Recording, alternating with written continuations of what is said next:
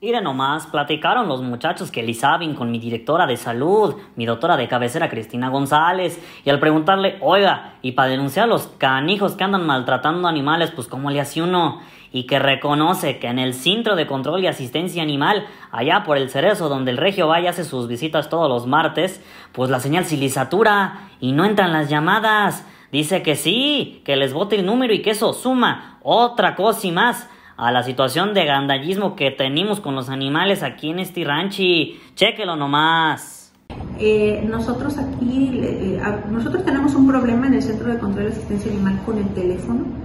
porque hemos detectado que muchas personas dicen que no se contestan las llamadas ya se hizo el reporte desde hace mucho tiempo a Telmex y lo que nos comentan ellos es que pues como está muy cerca de donde está el, el, el, cerezo, no sé,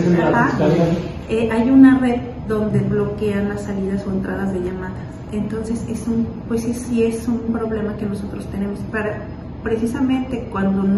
hablan al centro de control de asistencia animal y no contestan, pues aquí en desarrollo social se reciben esos, reportes. Ah, en, los reportes que son por quejas sí se pide que sean por escrito o,